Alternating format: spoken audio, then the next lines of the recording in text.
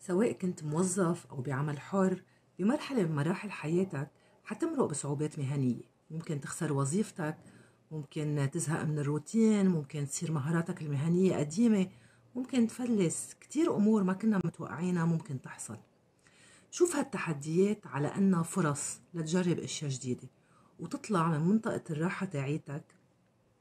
شوفها على أنها فرصة للسعي والتطور والنمو. العميل اللي تركك ترك مجال لعملاء غيره أفضل. تسريحك من الوظيفة جبرك تبلش شغل جديد أحسن. آه، زهقك من الروتين خليك تفتش على شغفك.